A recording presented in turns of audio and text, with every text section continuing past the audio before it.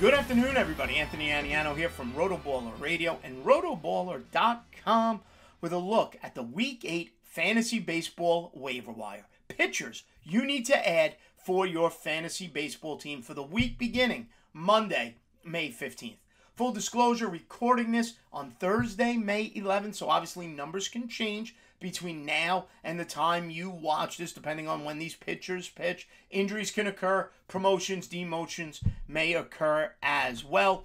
As always, we use Yahoo roster percentages at our as our talking point, trying to keep the list to players at or below 50% rostered on yahoo.com. Don't forget, head over to rotoballer.com right now, sign up for that MLB Premium Pass using the promotional code ACES. Save money at checkout and get all sorts of great time, uh, uh, great, all sorts of great content over at rotoballer.com, including including team sync optimizers, uh, lineup optimizers, team sync tools, you name it. Rotoballer.com has you covered, as well as all the great free content for whatever sport you're looking for. DFS, season long sports betting, whatever it is you want to look into. Like and subscribe right here to the Rotoballer YouTube channel and download the Rotoballer app for free. All the great content right there at your fingertips. Follow me on Twitter at A Aniano Fantasy. All right, so let's take a look at some of the pitchers available week eight, the week beginning Monday, May 15th.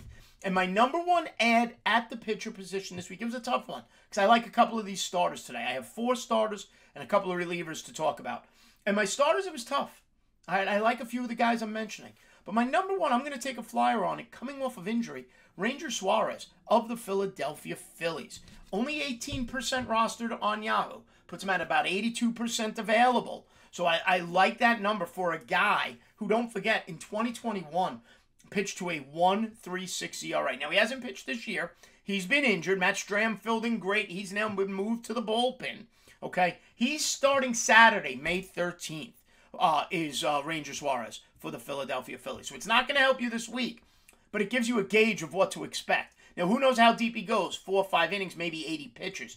His next start, the start you would be adding him for, is for the right around 500 Chicago Cubs, where he's scheduled to start next Friday, May 19th.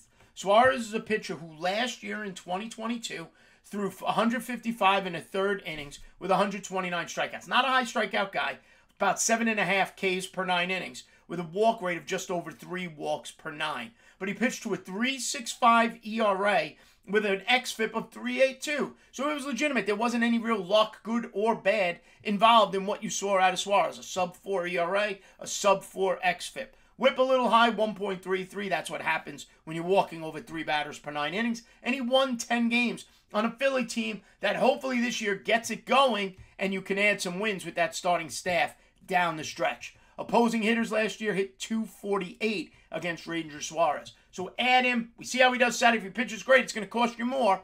If, he, if he's mediocre, five innings, two, three runs, maybe you get him for a little bit less. But I do like him for the remainder of the season. At number two, my second ad of the week, Brayan Bello of the Boston Red Sox. Only 8% rostered. And he's the example why at this point in the year we don't look whole season we shrink it down a bit. But there are some concerns as well.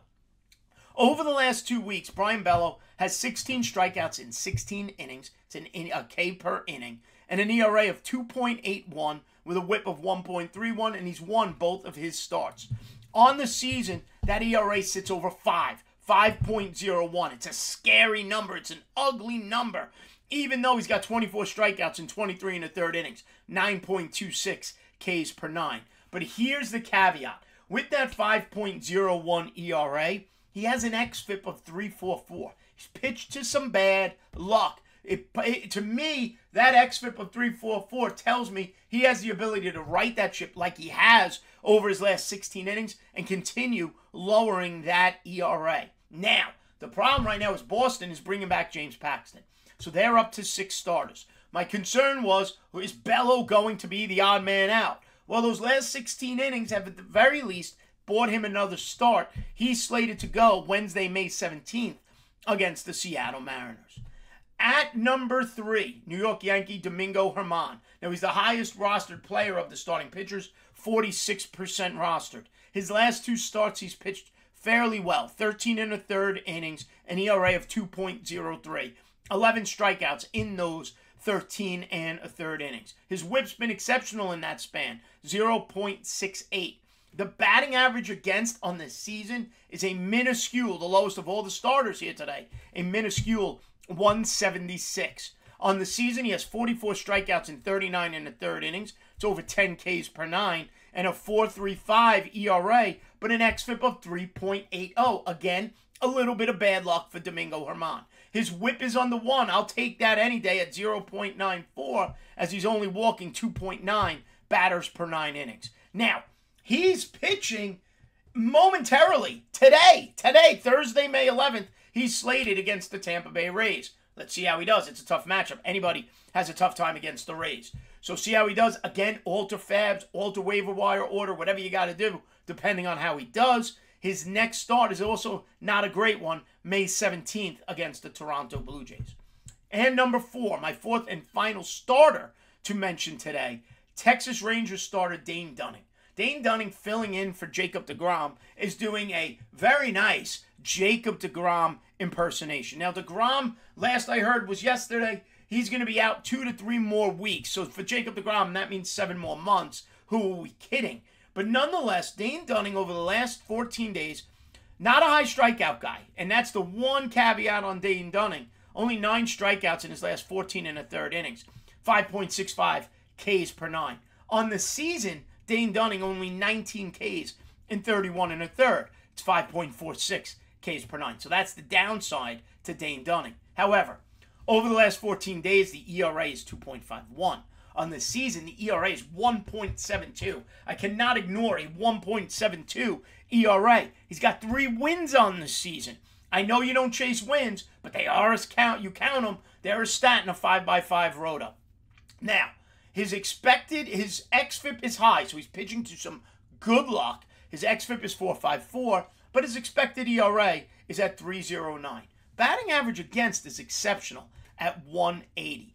He's only 23% rostered on Yahoo, making him available in 77% of leagues. His next start, though, again could scare some people off. May uh, Monday the 15th against the Atlanta Braves. So to recap the starters, number one, Ranger Suarez of the Phillies. Number two, Brayan Bello of the Boston Red Sox. Domingo Germán, number three. And then Dane Dunning, again, you're managing him with the DeGrom injury, but Dane Dunning sits at number four. Now, real quick, relief pitchers. Jose Alvarado of the Philadelphia Phillies goes down with an elbow situation. He's going to be out for a little bit of time. I loved him as the best reliever on that Philly staff, and he was showing that. So now the question becomes where do the saves go in Philadelphia? You have Greg Kimbrel, you have Gregory Soto, you have Seranthony Dominguez. And I'll be honest, none of them have been particularly good I have a feeling in my ad out of those three, though, right now is Kimbrel of the Phillies. 47% rostered, so he's about a 50 50 player, depending on your league. What could scare people away is Kimbrel has been prone to blow up. We know this. His ERA is over 7. Over the last 14 days, his ERA is over 13. However, he does have three saves on the season. 21 strikeouts in 14 innings. So the Ks are still there. 13 and a half Ks per nine. Okay. And as much as that ERA is terrible on the year, 7.07, his xFIP is 3.72. So he's pitched to some bad luck as well as the season has gone on. I don't love Kimbrel. Don't get me wrong. I'm not stamping him as a must add. But if you're working the waiver wire for saves, Kimbrel could get some for the Philadelphia Phillies in the next couple of weeks. Also available for saves is the committee situation in Chicago with the Cubs. Mark Leiter and Adbert Alzolay, both of them have gotten saves in the last week for the Chicago Cubs. Leiter, 29% rostered. Alzolay, 7% rostered. Both of them have pitched terrific. Mark Leiter's pitching to a 146 ERA on over the last 14 days. On the season, Mark Leiter Jr., his ERA is 1.13. He's got 25 Ks in 16 innings. Alzolay over on the season has a 2.41 ERA, 18 strikeouts in 18 and two thirds. Both of them have a save on the year. Both of them, both of them have been difficult to hit. Mark Leiter Jr. batting average against of 161. Alzolay a 179 batting average against. If you got to make a claim for a club uh, Cubs reliever, I strongly prefer Mark Leiter. The K's have been better. The batting average against has been slightly better. The whip is better as well. Okay, Mark Leiter Jr., the preferred reliever for the Chicago Cubs, but you could waterfall this and put Adbert Alzolay underneath him if need be. And finally, if you're looking for middle relief dominance, okay, maybe not getting the save opportunities right now, but who knows what the future holds, take a look at Miami Marlins reliever Hus- uh, uh, Oscar Brazoban. Okay, only 2% rostered, 98% available in Yahoo leagues. 27 strikeouts in 22 and a third innings this year, 11 in his last seven and a third. Over his last seven and a third innings, his ERA is zero, hasn't given up an earned run, and his whip is 1.09. On the season, his ERA is 2.01. He's only walking about two batters per nine innings, and his batting average against sits at 229. I've added Brazoban in spots where I want to lower my ratios, pick up some strikeouts. He's used about every other day by Miami, and that bullpen, AJ Puk, is currently closing. He's one injury away, though, from maybe picking up some saves, is Brazoban. So my closers, Greg Kimbrel, Mark Leiter Jr., Adbert Alzolay, who I'm probably butchering his last name, I apologize, and Oscar Brazoban of the Miami Marlins, if you're looking for holds or just some middle relief and potential holds as the season goes on. All right, everybody, like I said, go to rotoballer.com, sign up today, use the promotional code ACES, give me a follow on Twitter at AA Fantasy, and make sure you stay right here, like and subscribe the Rotoballer YouTube channel. We will see you next time right here on Roto Baller Radio, folks.